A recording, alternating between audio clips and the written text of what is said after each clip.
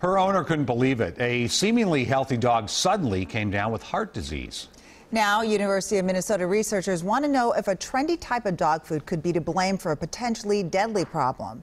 Tonight in a WCCO special report, Christiane Cordero shares the FDA's alert about grain-free brands and why some veterinarians think that they're not worth the risk.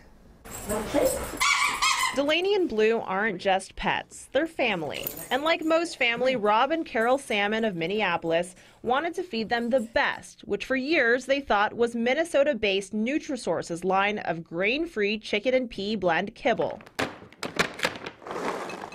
Now, researchers nationwide question that brand and dozens of others for a potential health risk. The FDA also announced an industry wide investigation into the possible connection between grain free food and a form of heart disease called dilated cardiomyopathy, or DCM. It was a shock because they seemed normal, they seemed absolutely okay.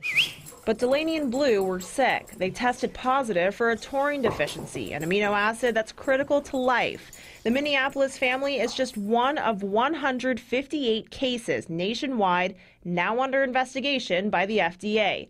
Other researchers around the country are doing studies of their own. The 200, the even few hundred, if we're going to stretch it to that, cases Sure. that we know of right now Right. are less than 1% of the dogs that are eating this kind of food.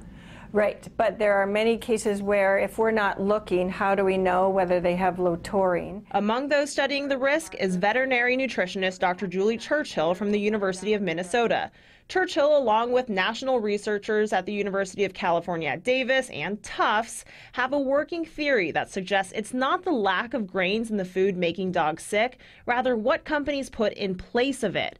Sweet potatoes, peas, and other legumes might be stripping a dog's ability to absorb the taurine. One theory, but no certainty. It's not a complete common denominator, and that's what makes it so confusing. In a written statement, Nutrisource told WCCO it follows and will continue to follow recommendations by the FDA and pet nutrition experts, adding in part that, quote, Pets are family, and we would never knowingly provide products that could harm them. End quote. They also started supplementing its diets with taurine in hopes that it will aid dogs whether they are predisposed to DCM or already have it.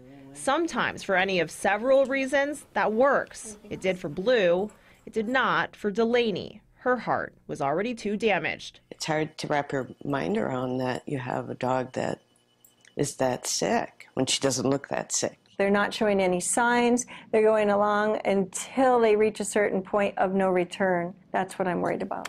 Facebook groups share that worry. Pages some 11,000 users strong, searching for answers and advice from foods and tests to diagnoses. Today, pet parents are left trying to rely on the FDA's guidance or that of their local vet. If it were grain free or some of the exotic ingredients right now, I say do not feed them until we figure out what's going on.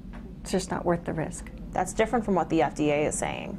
The FDA is maybe more conservative because we don't know the answer, and so they're unwilling to say um, stop something when there are dogs that have been eating grain free diets that have not been harmed. And there will be pushback. The Salmons changed Delaney and Blue's dog food right after the diagnosis, but it might not be enough, even after nearly $4,000 in tests and medication. And that's my fear, you know.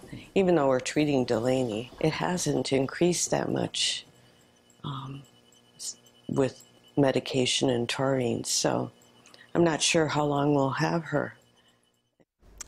So when can pet owners expect more clarity on the health of grain-free food? Well, UC Davis and Tufts study is done, just waiting for peers to give it a final review. And the FDA told us it doesn't yet have a timeline as to when it will publish its report. Tomorrow on WCCO this morning, I'll have advice from pet health associations on what to look for in a quality bag of dog food.